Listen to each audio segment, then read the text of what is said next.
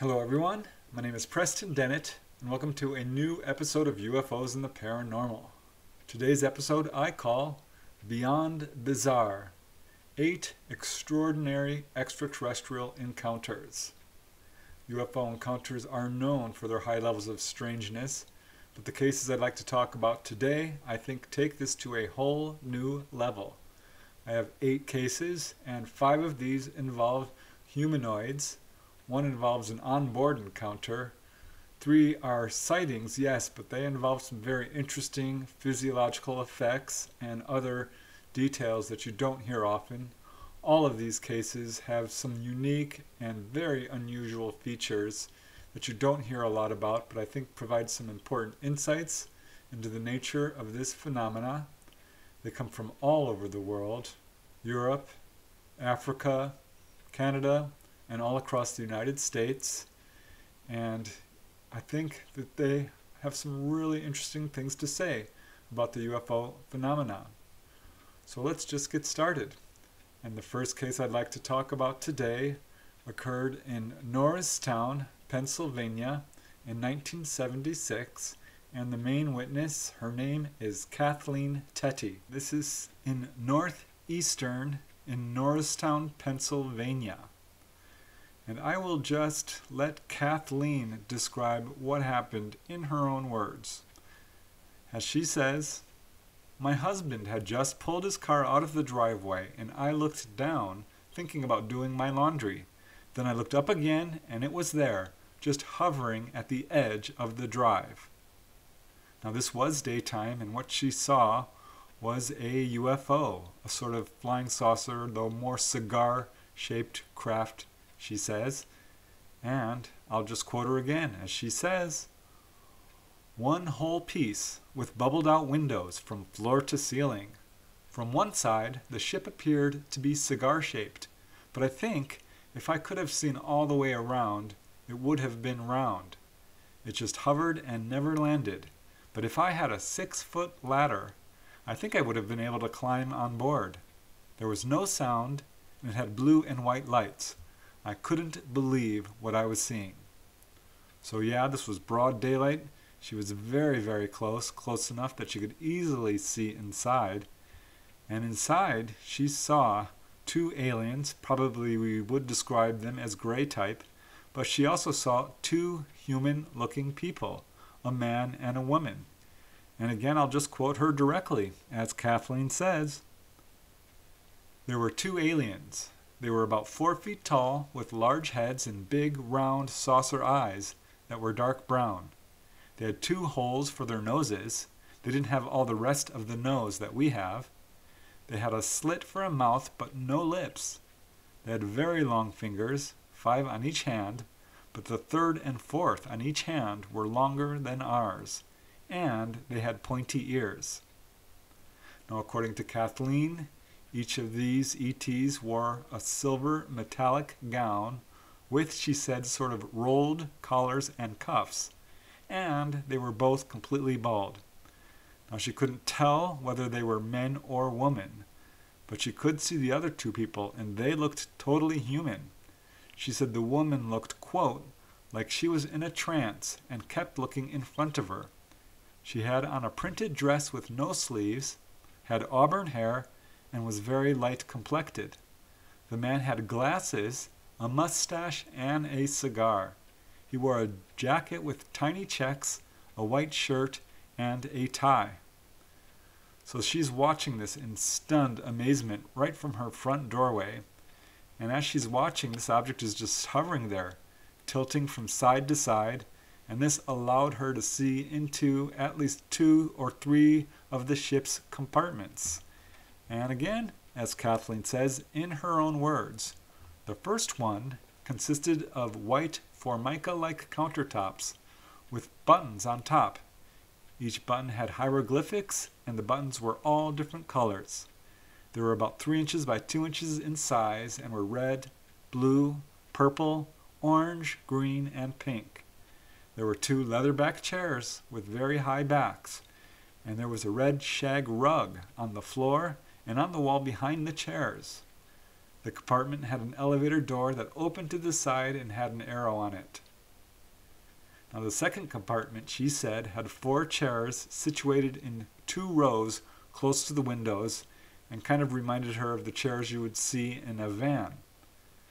Now, as Kathleen says regarding the ETs, I could see no feet, but the creatures floated, and each had the woman under the arms to lift her up.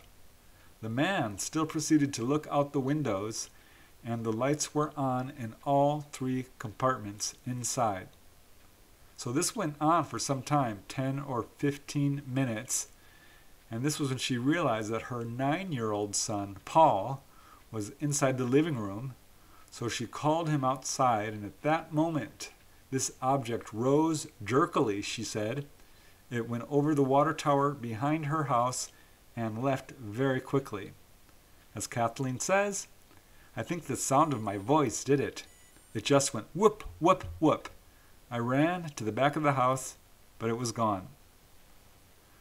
So she kept this quiet at first, but was later interviewed by reporter Judy Baca of the Norristown, Times Herald. And she admitted herself that her story was hard to believe, but as she says, it's part of history. It's here, and it happened. I don't feel that it was a bad thing. So she felt no fear at all at any point during this encounter, but she did later get some confirmation of it. She later learned that her older son had a friend who saw a UFO in or around the same area, and she also learned that the daughter of a neighbor claimed that she saw a UFO in the same area at the same time that Kathleen did. And so she later came forward, Kathleen, after reading a UFO article by Philadelphia writer Tom Cleary. And he actually showed up at her house for a first hand interview and brought along with him UFO researcher David Jacobs, PhD, and they interviewed her together. They asked her to draw what she had seen, but she told them she couldn't, as she says. I told them I couldn't draw it, but I would describe everything. Then they asked me to take a look at a book of pictures to see if anything looked familiar. I was so amazed when I got to about the fourth page and saw the pictures they had in the book because the creatures were what I had seen. I told Dr. Jacobs if he wanted to give me a lie detector test or some other kind of test, I would be willing. So after interviewing her, Dr. Jacobs was in fact convinced that she was telling the truth. And I'll just quote him directly. As David Jacobs says, the key thing is to see does the report fit into the pattern of other reports? Another issue is the credibility of the witness. Teti is not a lunatic or practical joker type. This is not part of her personality. This is something that happened once in her life. It's not a pattern of events that she sees nightly. She did not embellish or elaborate. She is a good, solid, upstanding citizen, not a person who is trying to make a buck off of it. She's not telling it to gain fame or fortune. So you have to ask why in the world would someone bother to tell the story if it wasn't true? So yes, as you can see, there are some very unusual elements to that case. The fact that it occurred in broad daylight, that the witness was literally only maybe 20, 40 feet away from this object, which itself was only about 10 feet high, that she could see directly inside of it, the strange things she saw inside this craft. There's a lot that make this case very unusual, and it's quite well verified having been investigated by David Jacobs and having there be other witnesses to UFO activity in that area at that time. It's a great case. And let's move on to our next one. This case took place in New Mexico, more specifically on a highway in Alamogordo, New Mexico, just south, outside of Alamogordo. And the main witness is 35 year old Christina Bryant. Christina was driving along with her four year old daughter and a friend from Phoenix, Arizona to Lubbock, Texas, when all three of them noticed a strange light in the star filled sky. Now, she wanted to keep her daughter amused, so Christina sort of invented a game, sort of talking to the lights and telling them to change colors, to, to turn blue and red, which, to her surprise, they did. And this went on for about 45 seconds. They would stop and the lights would go off. The next thing they know, they had somehow left the main highway, finding themselves on a two lane back road out in the boonies. There was lots of wildlife around them. They could see rabbits and deer appearing along the roadside. And they came around a corner, and this is when they saw something very unusual a police car with funny lights and what appeared to be a one car wreck. This vehicle was tilted at a very steep angle, and she said its battery was hanging oddly from the wrong side of the hood. There was a policeman there. He's carrying a flashlight and a clipboard, but he seemed to be in parade uniform, complete with braids and medals, which she felt was totally out of sync for a back country road. And so she, this officer actually reached out for her hand, resting on the frame of the open window. And Christina remembers a sudden chill going over her body as soon as he touched her. And in fact, it was so cold, his touch, that it scared her. And she was also confused because there was no sign of any accident victim. She remembers asking the officer about the wreck, and he asked her if they had passed anyone. So, about 45 minutes down the road, they turned onto a highway junction truck stop, and this is when they noticed that it was now 3 a.m. and that they had, were missing uh, an hour or two or more. So she continued her drive to Lubbock, Texas, and related the details to her mother, who was surprised and actually produced a tabloid story with an article about a record number of UFO sightings, apparently in the same area where Christina had been. So she sat on this for years. This was in May of 1976. But it wasn't until January of 1983 before she decided to do something to find out what happened during this missing time. And doing some investigation, she learned that people go under hypnosis to recover missing time, and she decided to do this. And under hypnosis, a different scenario emerged. Christina Bryant recalled that this quote, policeman had opened the door and helped her out of her car he was holding her hand the whole time. She said it was actually very nice, very kind and gentle. He looked like a normal guy, five foot eleven, about 170, 180 pounds, blonde hair, blue eyes, nice features. But looking over at the police car, she now saw that it wasn't a police car at all. It was a UFO, shaped kind of like a coolie hat, she says. There was a little ladder, and she followed the policeman up into this craft. And she was motioned to a chair in front of a large window. She saw what appeared to be numbers appearing across the top of a screen, which she believed was some sort of directional finder with converging lines. And the policeman, she said, became kind of playful, pushing buttons that propelled them to fly against a rush of stars.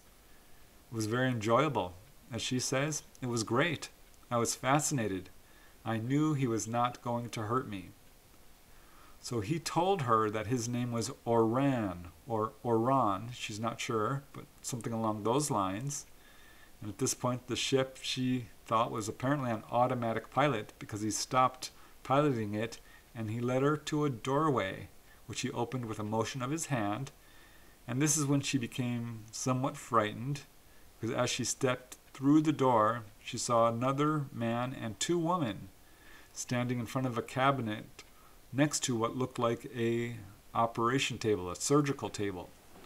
She saw her daughter, who was snugly asleep nearby on another table. And at this point, one of the women placed her hand protectively over the child.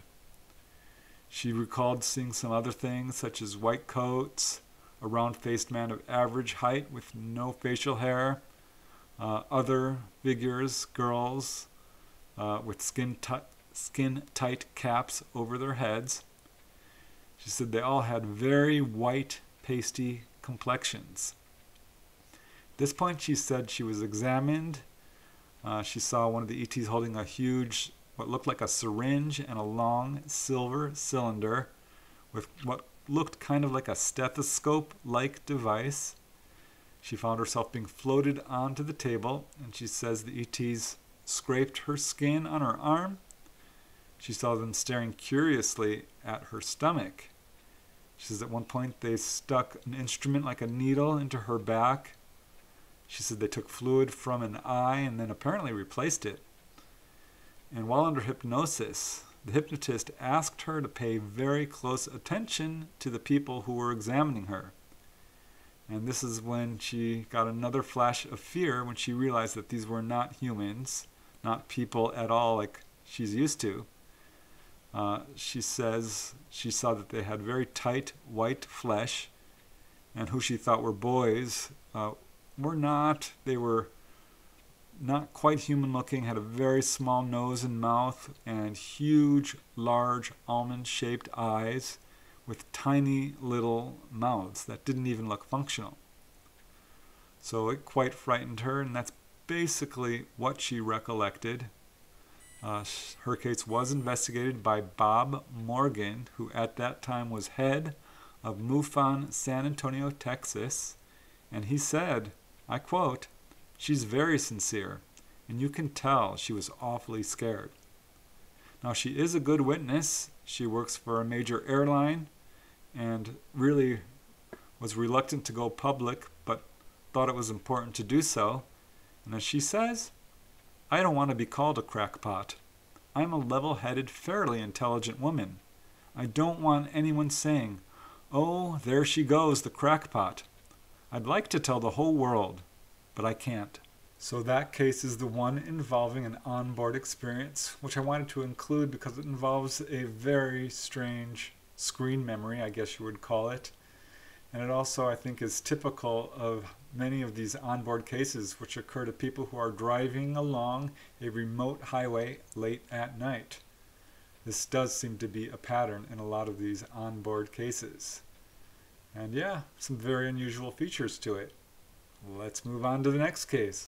I love this case. It's quite involved. It occurred in Colusa, California on September 9, 1976.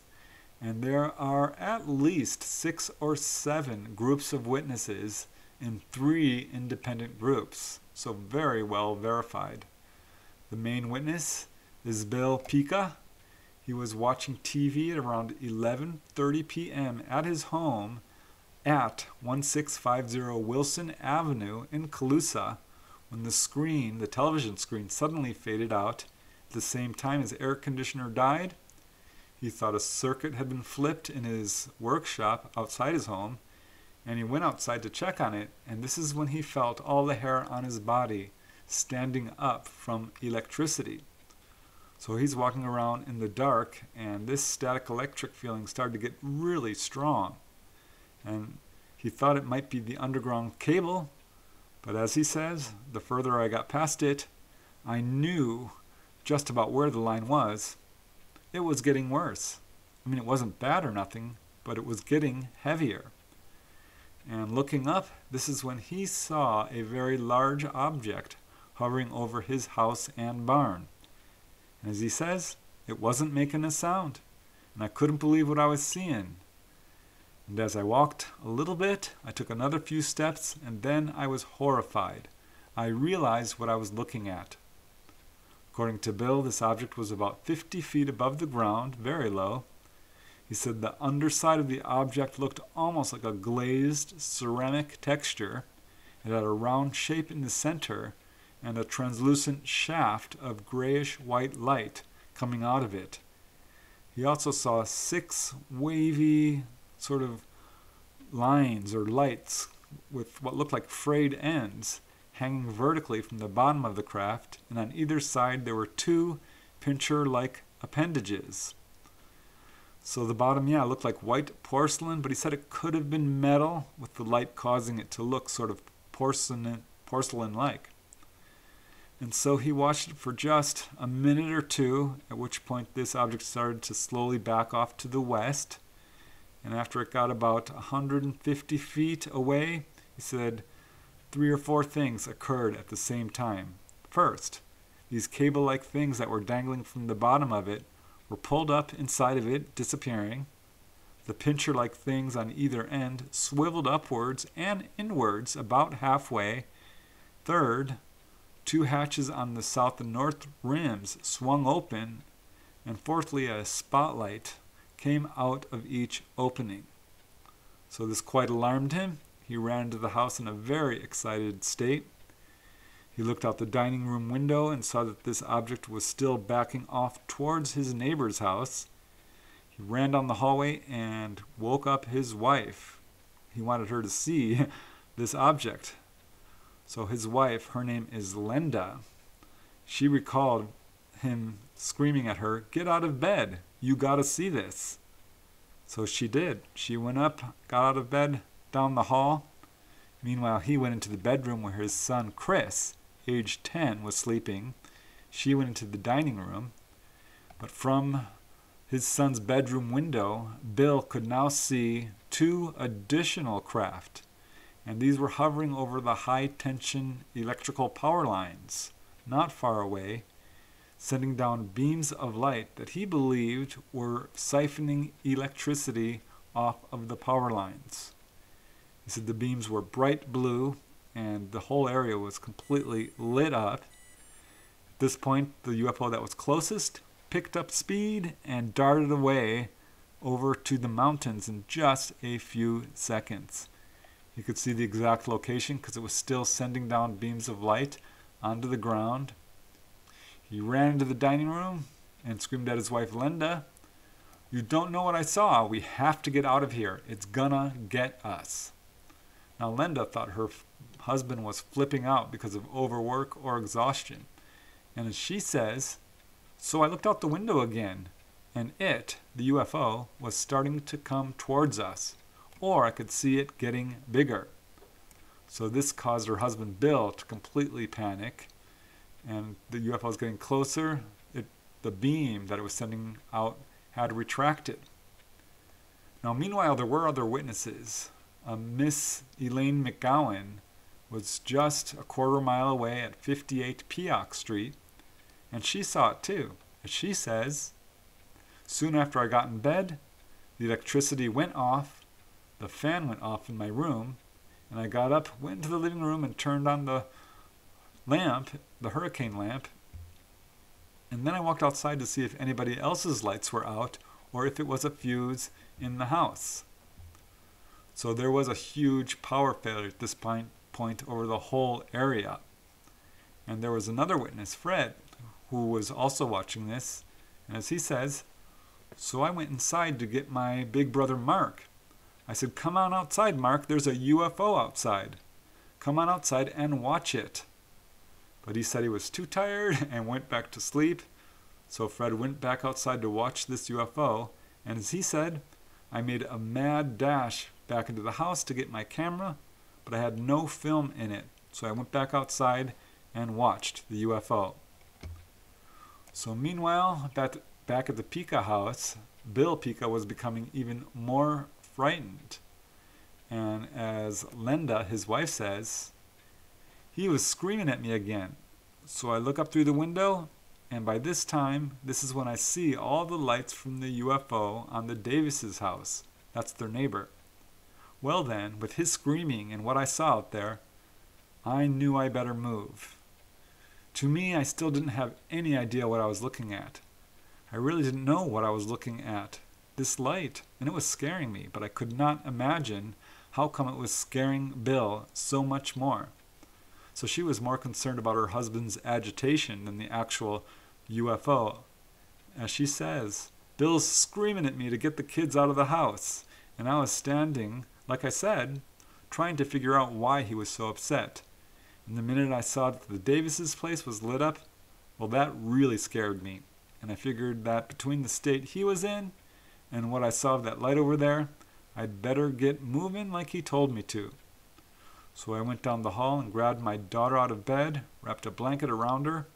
I just went right directly out the front door and into the pickup. I guess when I went down the hallway, Bill must have followed me. So, yeah, Bill was in a complete panic at this time. Uh, he says, and I quote, What I seen, what it was doing at Slim's house, that's his neighbor, I figured, I didn't know what I figured, I just figured that something drastic happened to their house. Because it was just glowing. He says the two UFOs over the power lines suddenly shot into the sky in opposite directions, and this scared him even more. He says, When it did this, I was really petrified. I told my wife, We better leave. So, thinking that these UFOs were coming for him, he grabbed a pair of pants and ran outside into the car. He didn't bother to put on any shoes or shirt. And as he says, or his wife says, he got to the front door and he screamed, The power's on, the TV's on, they're gonna see us. So she was already sitting in the car at this point. He ran back inside and turned off the TV set. And as he says, the back of our house, the windows were getting lighter, and I knew it, the UFO, was coming closer, and I was getting scared. And as his wife says, Lenda, he closed the front door. In fact, he slammed it. I remember that. On his way out to the pickup, he was asking me if the key was in it. I didn't even answer him. He got in and he started it up. So he's backing out and became alarmed that the UFO was going to see his uh, lights on his car. And he screamed out to her, They're going to see my lights. My God, they're going to get us. So he actually turned off the headlights turned off of his street, Wilson Avenue, and started accelerating at very high speeds, uh, well over, I think it was 90 miles per hour at one point. Uh, Lenda, his wife, yelled at him to turn on the headlights, but he refused because he was afraid the UFO would see it. Uh, it was a moonlit night, so he could see to drive. And he raced off, and as they're leaving, this object was apparently pacing their car. Z says, I caught it out of the corner of my left eye. Was approaching us at a pretty fast rate, but it wasn't catching up. It was just staying there. And his wife Lenda says, So we get down to the corner and he puts the brake on. Of course, the brake lights come on and he starts screaming, My God, they're going to see us. They're coming after us. Well, I never did turn around and look because I still didn't know what was making my husband so hysterical. So, meanwhile, there's other witnesses about a quarter, quarter mile away, the McGowans.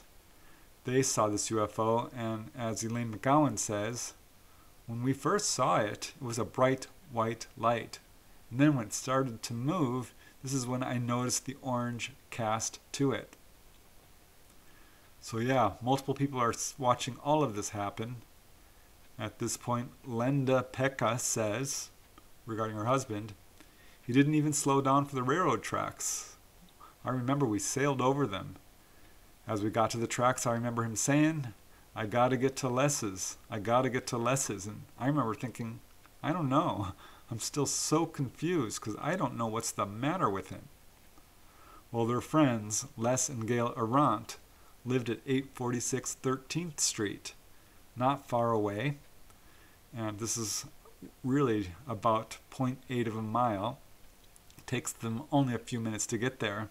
And as Lenda says, so we come around this way and just directly into their driveway. That's where he stops. He jumped out of the pickup and left the door open. And the next thing I know is he's beating on their door with both his fists, screaming at them. So, yeah, he is quite emotional about all this. And at this point, their neighbor, Gail Arant, comes out and sees the UFO. She noticed this power failure. It was a really hot night, and she noticed that their air conditioner had shut off, and she thought that was strange. She realized all the other lights were off and didn't think too much of it because once in a while they do have a blackout. But she came out into the kitchen and the dog was whining, and she got a flashlight, and this is when the electricity came on and her neighbor Bill Pecha was pounding on the front door. As Gail Arant says, at the time I got to the door, he was pounding on it. I opened it. He was yelling at me to look up in the sky, and when I looked up, over in the west was this large object with a very brilliant white light underneath. You could see the outline of the top of it. It was dark in the middle, but you could see the outline, and it reminded me of a saucer, a cup and saucer, but it was turned upside down and went from west to east. Bill and I were by ourselves on the porch. Now, this object was close enough where they could hear a humming sound. According to the McGowans, who were just a quarter mile away, they said it was like a high turbine engine sound, but there was like a whirling, like a very high powered machine running at a very fast rate of speed. So, meanwhile, the Arants called the police, and the police officers Bill Wheeler and Peter Greevy showed up at the Arants house. And Officer Wheeler was surprised to see that Bill Pecha was so agitated and wasn't paying attention to him. So he reached out on to touch his shoulder. And this is when Officer Wheeler got a huge electric shock, uh, which quite surprised all of them. Uh, it was quite obvious to everyone that Bill was telling the truth because he was so emotional about it. So Pecha told them what had happened, uh, explained it several times, and this is when his wife Lenda realized, oh, it's this UFO that is upsetting him so much. He was so emotional that uh, he couldn't drive. She ended up driving home. And it was later that day that they uh, drove out to the power lines, the ones that were glowing red when this UFO was over them. They were expecting to find some scorch marks or anything, but they didn't see anything. But there were other witnesses. Investigators uh, found several other witnesses. One strange thing was that the neighbors at the Davis house said that their pear tree had bloomed about a week after the UFO sighting, which was quite unusual because the fruit had already been picked, but the tree was blooming again. Uh, and this was verified by investigators uh, who believe it might be related to this UFO sighting. Hard to say. There was another witness who does not want to go public. She just goes by Mrs. S. She decided to remain anonymous when this case was getting so much attention but it was investigated by the police department, was investigated by people at the newspaper, and later by professional UFO researchers. So, a quite well verified case. And what I'd like to do is play a short audio clip of some of the witnesses. First, I'd like to play a clip from Officer Peter Greevy, who came onto the scene and interviewed the main witness, Bill Pecha. UFO Reporting Center? Yes, this is Officer Greevy with the Colusa Police Department in Colusa, California. Yes, sir. And we've just received two reports of UFOs, and they're, we're with one subject now, and we figured it'd be easier if he could describe it to you, or we've never called your number before, so we really don't know what the procedure is on it. But we just had a complete power outage in the county, and uh, when this fellow walked outside, when he spotted it, and that's when this when another lady who was a reserve on our department also spotted it. Now, you say one party's with you? Right, I'm calling from his home now. And we thank you again very much for this. And if we get any more information on it, why, well, we'll get back to you people and let you know. Okay, and also the the power was out for uh, three or four surrounding counties too that we monitor on the radio at the same time. Okay, how long was that out? You know? Well, I was out at my house for about five minutes. Went Uh-huh. out five to one and came on about two minutes after because I was just getting ready to go to work. I was Uh-huh. out for about seven minutes at my house. Okay, if you need anything else, you can get hold of us, I guess. Yes, sir, we'll do. Okay. And we thank you again. Okay. Here's another clip, an audio clip of the main witness, Bill Pecha, describing what he saw. Well, I never used to believe in it, but I do now. Um, around one o'clock, the power went off, and I have power running from my shop to my house, and I figured maybe it blew a fuse in there.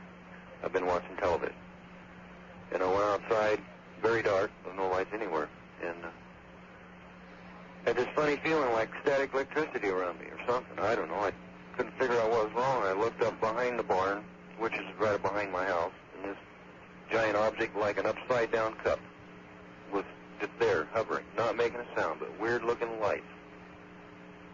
And I ran back in the house to get my wife, and it was already about like five, ten miles away. And it was coming back this time with three giant beams on the ground, lighting up the whole surface of the ground. And my neighbor has a crop dusting outfit behind my field, and uh, it lit their, their house up, and it was shining these weird lights out, like uh, spotlights. They wasn't going out too far, but they were quite apart, far apart, and uh, it would come right for the house again, so I grabbed my kids out of bed and we ran to the car and got in a pickup. And the damn thing followed us until we got to the cemetery, and then uh, I had to hit my brake lights was driving no lights to get over the hump. And uh, when I did that, it took off like a flash off to the right and went off towards the Sacramento area. And there was more than one, but I didn't have a chance to look at the other. It, this one's too damn close, you know. Yeah. But it was hanging over the barn, and it had this funny electricity stuff bothering you. I mean, it's like a like you get a tingle. He was about 50 feet and counting the barn. He was right above the barn. Uh, well, I would say within 100 feet from my house to the barn. I couldn't see above it because at that point it was too many weird looking lights drawing your attention. You didn't. I just couldn't take time to look the whole thing. It just scared me, you know. Uh-huh. But I did look at it for a good two minutes. I mean, I stood there, I was froze, and it doesn't make a sound. The yes, when it took off, it looks like an upside down. Well, I hate to say this, but you know the movie they have on TV called uh, The Invaders. Okay, it looks identical to that. But it didn't light the ground up on the barn until it took off over there, and it stopped, and it had three lights. It lit up the ground under it in a huge, big circle. Well, uh, this center one was a huge light that went straight down, Uh-huh. and then it had one out in front that went down on the ground, and then it had one on left and right of it that showed on there were power poles with the power poles on the 2047, and it looked like it was shining lights right on those those uh, electrical uh, those uh, uh, transformers. And the lights was already out already all over the whole valley, but it came when I called the wife to the window. It was coming right at us again, and it had these bright, giant light, but this time it only had one light. But it was a beam, a huge big beam, I'd say a couple, three hundred feet in diameter on the ground, coming right at us. And I panicked and grabbed the kids, and we took off with no lights. so I just fired it up, and it's a Chevrolet, you know, it takes a little bit, and I put it in reverse and backed out, and after the backup lights come on, and that scared me because I figured it's going to see us, you know. Uh-huh. And it came right over Bailey's trees, which is the next door neighbor to us, and they're eucalyptus pretty tall. And it just seems to know how to act to manipulate it, you know, on the ground maneuver. And it doesn't make a sound. That's what's weird. He right along the side of us, within about a hundred yards from us, and and I was made the turn on the main road and hit it towards town as fast as I could with no light. It was right there, and I was getting pretty panicked, and uh, my wife was too. But when I hit the railroad track, there was quite a little hump over it, and I put the brakes, and the brake lights came on bright red, and I figured, oh Christ, he's really going to find us now, you know. Uh-huh. And uh, it took off, off behind us on the right of us, and took off towards the Sacramento area, and it just went all that way so fast you can't believe it. It can make any turns it wants. It Well- turns soft blue. I mean, kind of a purplish blue When it took off? when it takes off. Know. Okay. Say, I seen a good look of it there at the barn, Right. but the underneath's got some weird looking things on it. That's Uh-huh. that's what startled me. You know. Did it have any colored lights on it? Yes. It's, it's kind of a frosty light. You know, it's not a, they're just uh, like a neon light. Right. And there's a series of little teeny things that go through the light, like like little neon tubes. Yeah. Well, see, we have irrigation pumps on the canal, Oh, yes. and they're quite, I don't know how many voltage, but they're quite a bit. And they're big, huge transformers, so I don't know if it was just looking at them or if it's drawing energy from them, but it looked like to me it's drawing something from them. It was as big as around as my whole barn. And the barn is pretty old, but it covered the whole top of it. Uh-huh. And the barn is probably like 75 by maybe 50, and it goes up pretty tall. I didn't. I called my neighbors because I was very worried about them when I got to town because it had this huge light over their house, and they own the airport. And I called her, and she said that uh, they were asleep. They didn't hear anything or nothing. I told her it didn't make a sound. And I didn't want to tell her that I was waking her up, scaring her. And she said she kind of believes in it too, but she would keep an eye out. Uh, do you, you said that there was more than one object. Yes, there were three. I, I'm pretty sure there were three because there was the other two things going away. Is it coming towards us? And that's when I figured holy hell's going to break loose. I didn't, you know, I just was worried sick after it was there once that they well it's going to come back and get it. Okay, now these the other two, were they similar to the one by the barn? See, they just had lights. They I see. had, they looked like a smaller, two small ones. Okay, what color were the lights on those? They were, they were, uh, uh, hey, uh, they're a neon light, neon light, Same, same. Only they didn't have anything under them. I couldn't see. They were looked like smaller ones, I see, Okay. but they okay. went away fast. Uh-huh. But they don't make no noise. I can't see why a machine that big can't at least make something. Pretty interesting, I think you'll agree. And real quick, here's one last little audio clip from another witness, Elaine McGowan. Elaine McGowan? Yes. I'm calling for the UFO Reporting Center in Washington, Yes, sir. and we understand that you saw something in the sky last night. Yes, sir. I wonder if we could get a description of that. There was no shape to it that we could see. Uh, the it happened about oh, I guess maybe 25 minutes to one. All the lights had gone out in town, the street lights as well as house lights, and we walked out to the street to look up the street to see if we could see any lights further down. Uh-huh. And there was one big bright light. It looked like a street light was mounted up in the sky. We watched it for approximately 10 to 15 minutes. It was um, southwest of Colusa. It was stationary for about, oh, 10 to 15 minutes, and then went in a northeasterly direction, northwesterly direction, pardon me, um, for maybe, oh, a minute, and then switched directions and went southeast towards Sacramento. Uh, the lights at that time came back on. They were on for maybe a minute and a half, and the object just disappeared. And there was a whirl, like a very, very high-powered motor would run, a very fine precision motor that would just have a hum to it. Yes. You could hear this very, very distinctly. Oh, it was quite a ways away from us. Uh, I, you know, uh, with the lights out and stuff, it's hard to tell distance. Right. Uh, it was south of town. I would say maybe a half a mile away from us would be at the closest point, and it was still a very bright, kind of a orangish, orangish shade of, of light. Uh-huh. We could detect no shape except this, you know, one circle of bright light. Yes. Now you say this was definitely circular then. It, this, the light that we saw, it Yes. was just like somebody had a. It would be like an airplane landing in your yard, the headlight of an airplane. You Oh, I see. Brilliant, Okay. but there was no rays coming off of it. I see. Uh, when we first saw it, it seemed to be, oh, maybe 200 feet in the air when we first see it. Then, as it was going in the north uh, east pattern, northwest pattern, it went up. You know, as it was, cli- in other words, it didn't go straight across the horizon. It went up on an angle. Yes. And then when it finally shot the closest to us, it was a lot higher, oh, maybe close to a half a mile up from us, you know, straight up in the sky. And then it was going at a very rapid rate of speed. Okay, now could you hear this humming sound at all times while you had it in sight? when we first spied it, no. But when it started in motion uh, and started from the northeast and, and went to the south, I mean, from the northwest to the southeast, then it was very, very pronounced. Okay. We could hear it uh, over the motor of a pickup truck that had just driven by us. Well, it was it did not stop after we heard the noise. Once we heard the noise, it was a steady. Um, it was like an uh, almost like an airplane motor going, you know, Uh-huh. but at a much higher rate of speed even than what a jet would sound like. Okay, now what about size? Can you compare that with anything? All right, standing on the ground and looking at it at a distance, it looked like five street lights flopped together, you know, only in one Those amber lights? It wasn't amber. It was kind of a. It was a white, but it was. We had like a pinkish, ca- uh, orangish cast to it.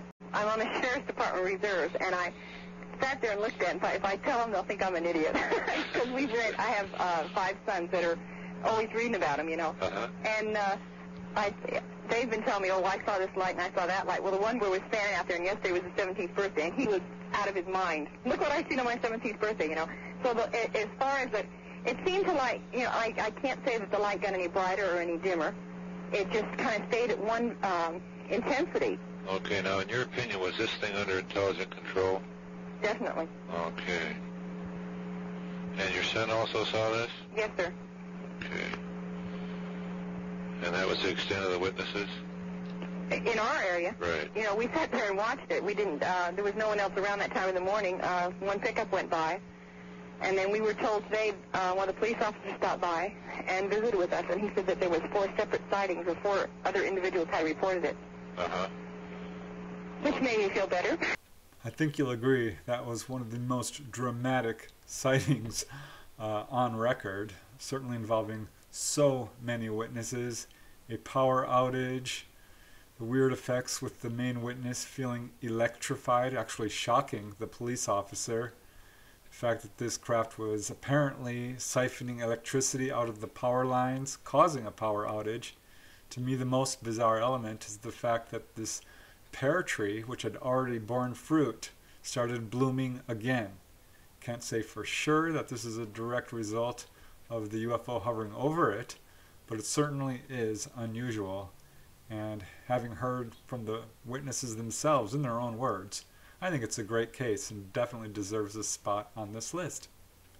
So let's move to this next case, which is equally bizarre. This next case occurred in Canada. This was in Montreal, Canada, more specifically at 6420 Casgrain Street.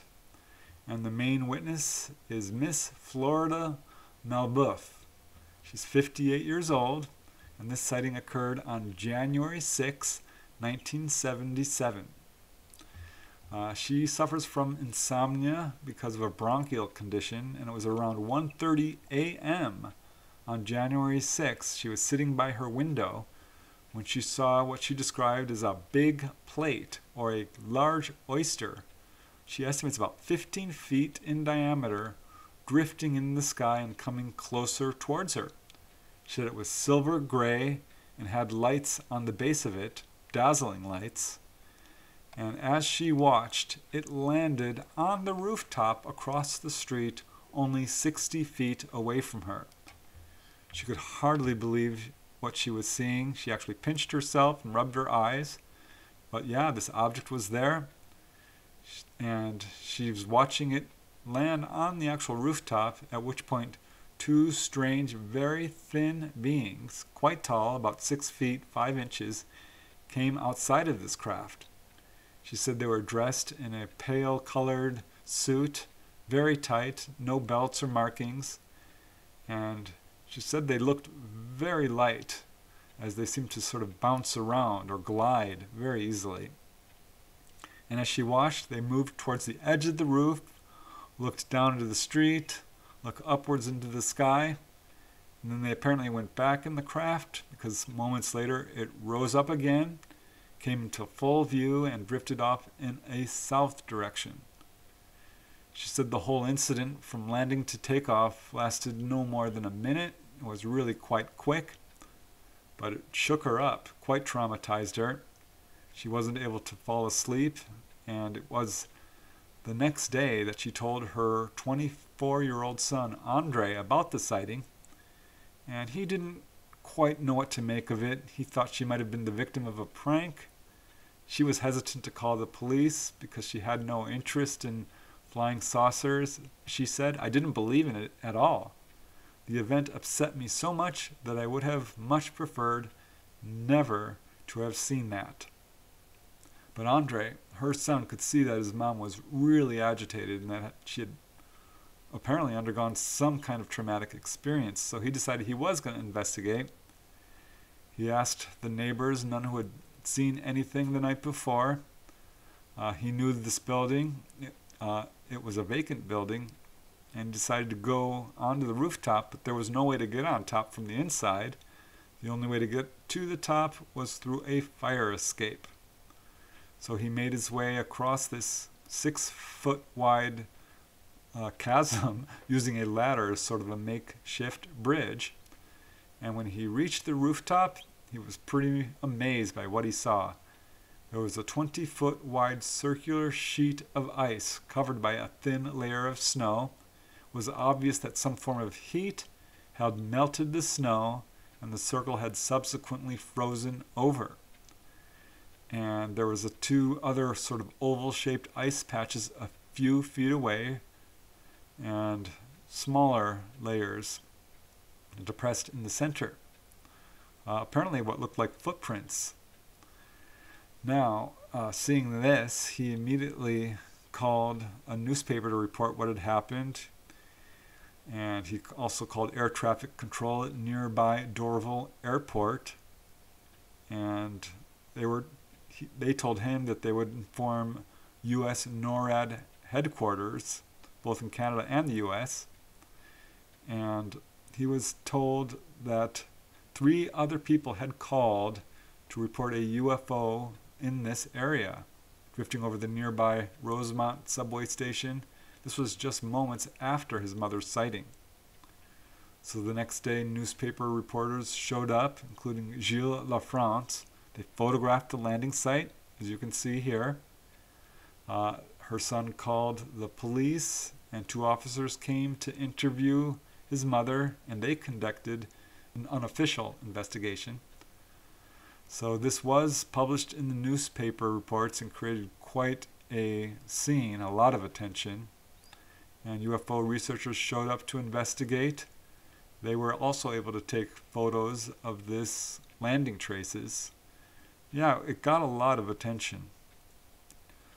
So they walked up to the top of the building again, and this is when they did find what they believed to be four peculiar footprints originating at the center of this ice mass and going towards the roof's edge, which is where uh, Florida saw these beings.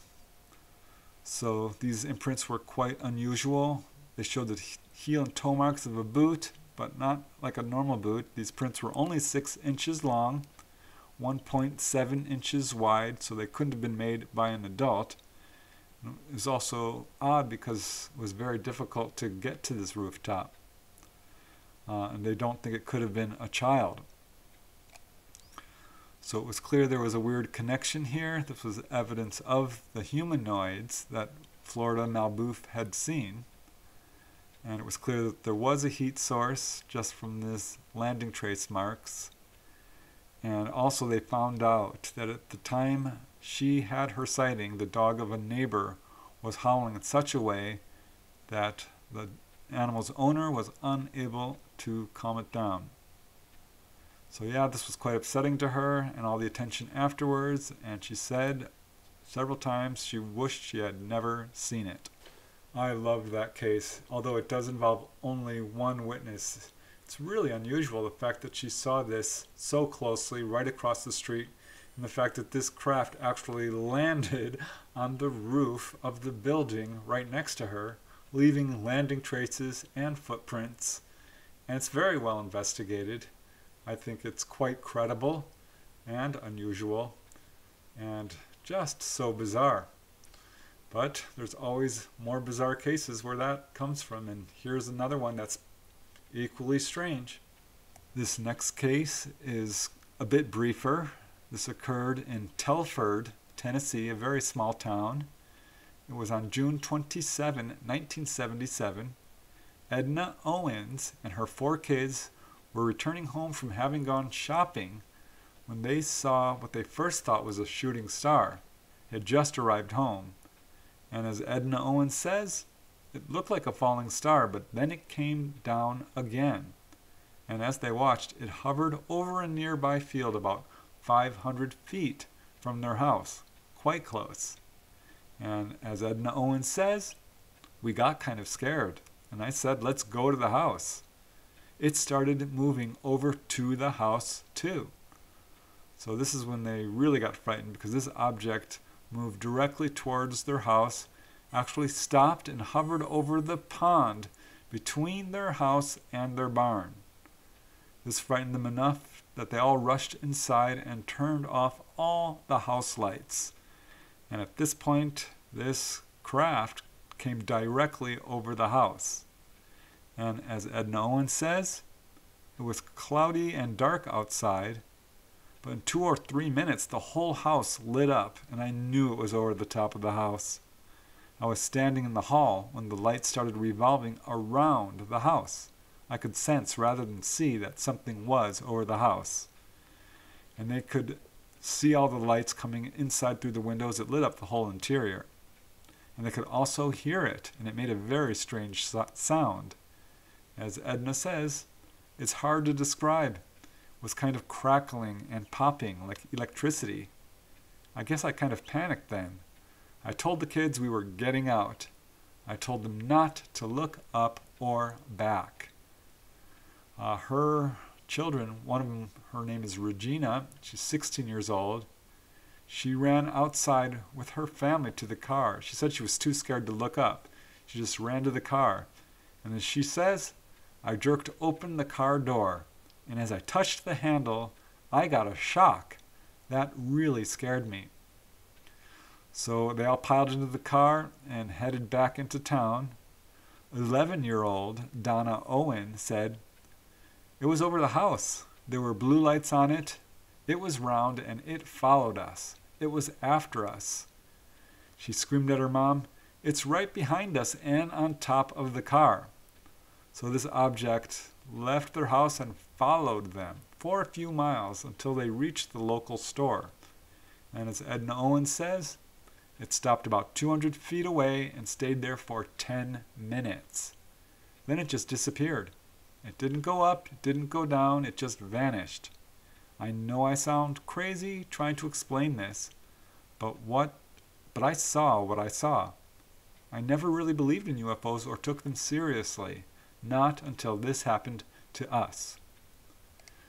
A, kind of sad end note to this case is Donna Owens, age 11, was so traumatized that she became uncontrollably hysterical. She was unable to be calmed down, and they actually had to hospitalize her. She remained there for a full week before returning home. I like that case because it involves four witnesses. They had quite a strong emotional reaction. What I found really interesting about that case was that one of the witnesses came out and touched the car and got a real bad shock. I think that fits the pattern that we're seeing in some of these cases. And what's also kind of interesting about that case is that one of the witnesses was so emotionally affected by it that she was hospitalized for a full week. That's very unusual. Quite a dramatic case. And here's another one that is probably the strangest of all of these on this list. You'll make up your own mind about that, but I think you'll agree it's definitely bizarre. This case is so weird. August 6, 1977. The main witness is a gentleman by the name of Tom Dawson, 63 years old, and he lived at, near Pelham, Georgia. This is about 20 miles north of Thomasville in Mitchell County.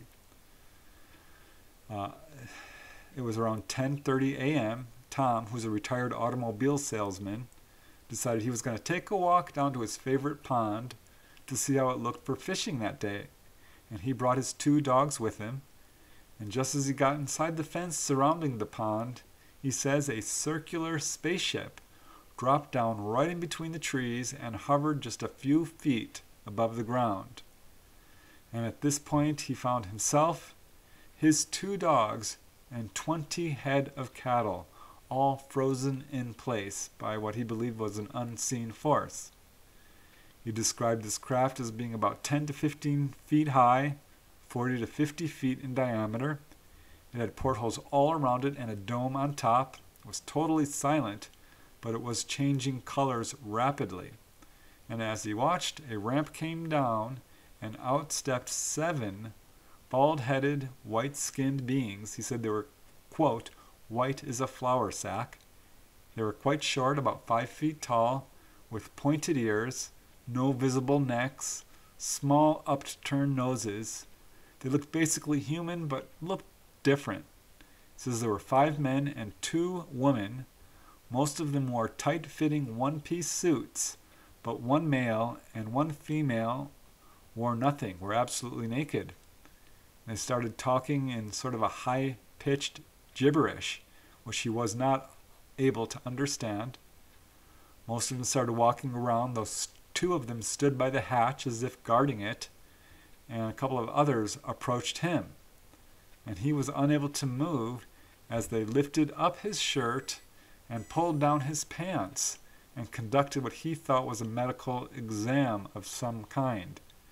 They placed a sort of skull cap like device over his head and a large hula hoop looking kind of device which was connected to a box and wires which they sort of passed up and down his midsection. And here's where this case goes from bizarre to absolutely off the charts strange. He heard a voice, he says, coming from this saucer, saying three times in perfect English, I am Jimmy Hoffa. That was repeated three times. It cut off at some point. Very strange. At this point, most of the figures returned to the craft except for two of the males who walked 10 feet away and appeared to have a conference between them. He couldn't understand them. He says their voices were very shrill and gibberish, but at one point he thought he made out the word Jupiter. Uh, he had the impression that they were debating whether or not to take him into the craft, uh, which quite frightened him. Uh, he said they start, collected some leaves and stuff and were about to go into the craft, but one came over to him, approached him, and put his hand, open palm, on Tom's chest in what he believes was a gesture of goodbye. At this point, they got on their craft. It rose slowly 75 feet upwards and darted off. At this point, uh, Tom Dawson ran uphill, it was about 300 yards, to the trailer where he lived and tried to calm down. He couldn't. Uh, as he later said, I don't care what they say. This is the truth as I know it. I'm not crazy. I wasn't drinking. I've never had a mental condition. This is the first time I've ever seen anything like this. The whole time it happened, my mind was alert. I knew what was happening. I have not doubted since that it happened. I don't blame people who say I'm nuts. I've heard stories like this before and I've said the same thing. But I do know what happened. There is no doubt in my mind that it did happen just as I've told it. Now he went directly to visit his neighbors, Jimmy and Linda Colby, pictured here. They saw him directly after this incident, and they could tell he was very upset. Uh, as Linda Colby says, he was in bad shape. He couldn't talk at all. I heard him coming and looked up to see him waving his arms and struggling for breath. He was wheezing and rocking, wild eyed. He couldn't get his breath. She later talked to reporters and told them, oh, it happened to him. She said that he was a well respected guy. They described him as a good, hard working man, not a boozer, not a liar, not prone to wild ta- tales, a good family man, not rich but comfortable. No reason to make up stories like this. They were good friends. They invited him, him over often, helped him out with the, he helped them out with the garden. So yeah, they absolutely believe him. But he was so upset they took him to the Mitchell County Hospital, where the doctor also confirmed that Tom Dawson was very shook, shook up, both mentally and physically, from his encounter with this UFO and its occupants. He was treated for hysteria, given a sedative to calm him down, and later released. Tom later said that he believed if he had been a younger man, these ETs would have taken him away. But following this, he remained very quiet about his encounter. Yeah, I'm not sure what to make out of some of the elements of this case. It's apparently quite credible. The main witness, Tom Dawson, does have his neighbors who absolutely support him in his story and insist he's not lying. Uh, the description of the ETs, most of them walking around in suits, but two not having any clothes on, that's quite unusual. I don't know what to make of the Jimmy Hoffa aspect of that case. You can make of it what you will. This is what the witness reported. Hard to say. But yeah, a lot of really unusual elements to it. And like other witnesses, he was so emotionally upset by it, he had to be taken to the doctor. Uh, a really remarkable case that I don't think is that well known, but certainly deserves to be well known.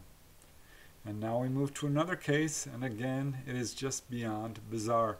This is the second to last case I'd like to cover, and this occurred on January 3rd, 1979, in an area known as Mindalore, Krugersdorp, South Africa. This was investigated by UFO researcher Cynthia Hind, and it's an amazing case. The main witness is Miss Megan Quezet, a housewife in her 30s.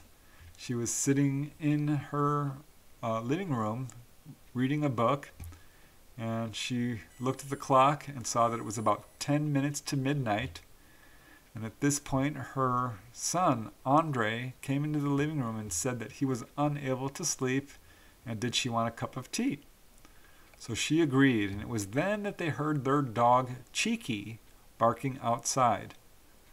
Their dog Cheeky had recently been hit by a passing car and had been badly injured and had only recently been nursed back to health. So Megan was pretty concerned about him and watching him closely. So when he started barking, she went outside to call him, uh, and she realized that he had somehow gotten outside of the gates and that he was probably going to bark and disturb the neighbors. She went to the front gate calling for him, but by this time Cheeky had gone up the road. So Cheeky liked Andre better than her, so Megan called out her son Andre to help get Cheeky back into the garage. Uh, he wanted her, him to go find the dog. Now they lived at number 14 Saul Jacobs Street, pictured here, and about midway up the street, at the top of it, there's a T junction and a road there called Tyndall Road. Just beyond that, uh, a few feet away is another road that runs parallel to the road, and it was newly made at the time. And uh, this is where they saw the dog running towards, still barking frantically, together with all the neighborhood dogs who were also barking.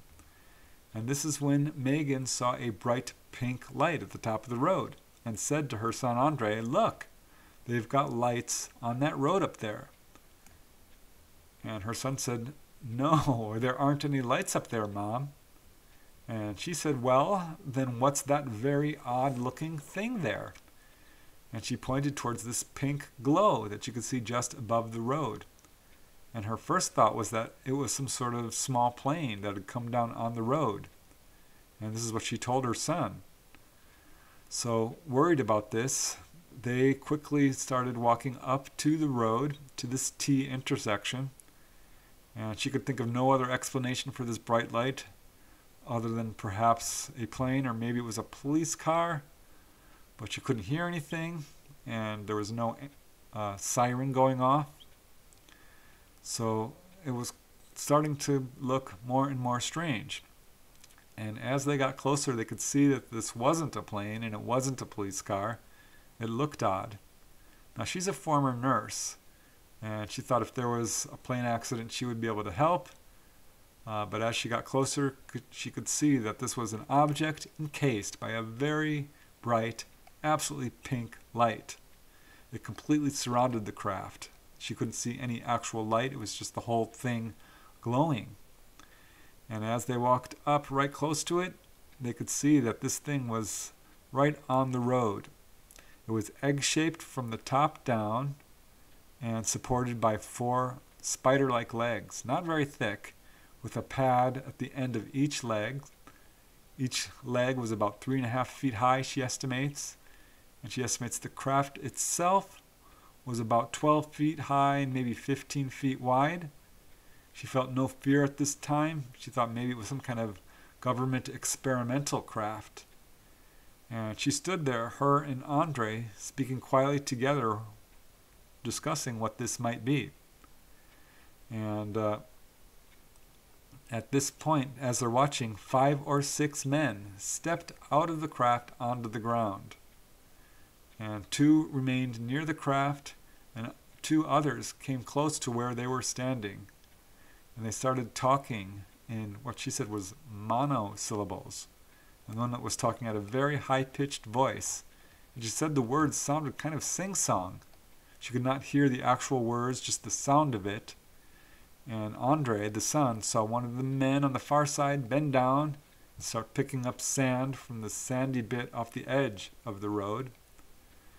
And they were talking, and as he saw this man lifting the sand and letting it trickle down through his fingers, Mac- Megan actually saw them bend down and touch the road. And she says she could hear them talking. She did not understand this language, but it was kind of close to Chinese and very high pitched. She couldn't see their faces very clearly, but she says they were all dressed in overalls with only their faces showing, except for two of them who had their heads uncovered. And one of these two guys who were close to them approached. Uh, he was one who had his head uncovered, and according to Megan and Andre, he had thick, dark, curly hair and a beard. And uh, suddenly, they, they appeared to be surprised to see that they were being observed, these uh, UFO occupants. And seeing Megan and Andre, they took a step back. Now, Megan is five and a half feet tall, and she said that these guys were shorter, probably about five feet tall, very slender. Uh, the suit covered them from head to toe, so she couldn't see any of their muscles or structure. But she says the suit went right over their feet, all the way up to their heads. Only their faces were visible. Uh, she thinks the color of their suit was white. Andre thought it was pink, but she thinks no, that was just the light from the UFO. The craft itself looked sort of metallic lead. It had no contours to it, no fins, just totally smooth. Megan realized at this point that the bearded man was looking directly at her. And still looking at her, he bowed low to the waist and had said something that Megan thought was a greeting of some sort. And all this time his eyes never left her. Her son Andre said, and I quote, The man said something with three syllables in it. I heard it quite clearly. So Megan was impressed and she said a soft hello and laughed nervously. And this man with the beard, who she presumed was in charge, she said he had ordinary black hair. He was very dark skinned, Middle Eastern looking, she thought, sort of olive colored skin.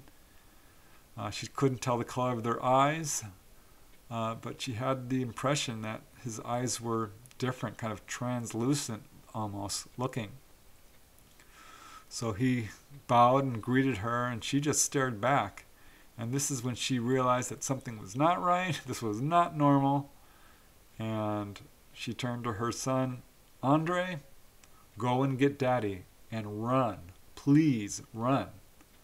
So Andre realized that this was very unusual. He ran, he became frightened too and ran away. He never expected to see anything like this. And the next thing she knew these guys were jumping back into their craft. She said they did it very easily, almost floating up into it. The, the hatch to this craft closed, and within seconds she heard this loud buzzing noise. She said it was like, quote, bees in a hive. Suddenly the legs elongated to about three times their length. The legs came from the bottom of the craft and elongated to the size of the craft itself in the meantime, Andre, who had been running away, stopped when he heard this buzzing noise. Megan herself stepped back. She was a little bit afraid, not knowing what was going to happen next or whether to run or not. At this point, the object went upwards, went slightly to the left. The legs started telescoping back into the craft. The craft hovered for a second or two and then shot off into the sky very quickly straight up into the clouds and was disappeared in about 30 seconds. Though she could see this pink color from the craft illuminating the clouds for a little bit while longer after the craft itself was invisible. She estimates the whole episode lasted about 10 minutes, though she says it seemed much longer. After it had gone, they returned to the actual site and didn't see anything on the tarmac. No marks or anything were found. Uh, they did report it to investigators. There was one who was skeptical, but the rest of the team felt that these people were telling the truth. And interestingly, there was another sighting on that day at 11:50 p.m. in the same general area. This is in Mindalore again.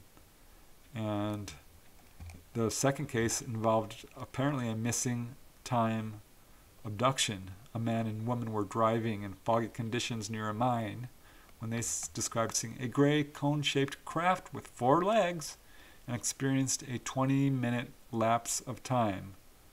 And they also recalled seeing humanoids. I really like that case because it shows what often happens.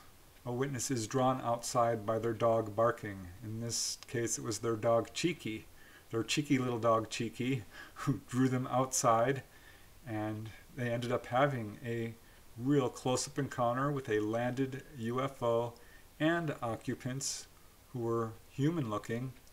I like this case because it does have two witnesses, a mother and daughter. It's quite long lasting. They were right up close to this object, so there's no chances of misperception.